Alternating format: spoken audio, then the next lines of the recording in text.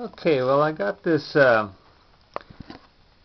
disposable flash camera driver operating off of a fairly large solar cell with uh, indirect sunlight running this electrostatic motor. And um, that's pretty interesting that that little uh, driver unit would work on that small amount of power and then go through the uh, Cockcroft Walton multiplier and produce enough of uh, charge to run the motor. And it's just, uh, this little panel is just pointed out the window and it's about, uh, well, I guess about 2 o'clock in the afternoon. The sun's on the other side of the house. So this is just sunlight coming into the house indirectly.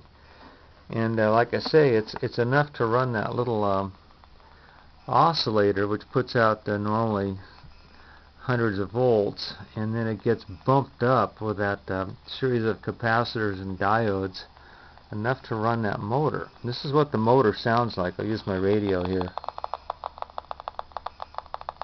And that's electrostatic motor. And that's got no wires and no magnets. Um, no coils and no magnets. It's run by a charge and discharge transferring across on that rotor. Very interesting, and like I say, very interesting that it would work off of uh, that sort of an arrangement.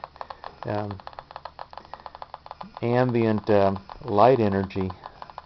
I had this run on last night off a table lamp, and so that's uh, rather interesting that that little uh,